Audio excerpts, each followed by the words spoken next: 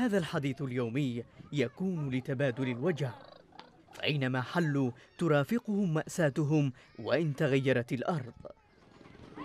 نازحو الحديدة المشتتون في كل من مأرب وتعز هربوا من المعارك الدائرة بالقرب من منازلهم ليصبحوا هنا أكثر عرضة للإهمال والنسيان.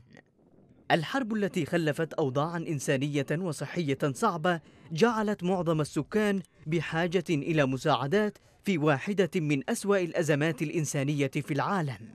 تركت الحرب فيهم ندوبا وإعاقات مستدامة ووجوها متعبة تتعدى مراحلهم العمرية نتيجة سوء تغذية حاد بجانب أمراض معدية والتهابات جراء انعدام البنى التحتية اللازمة خاصة شبكات الصرف الصحي.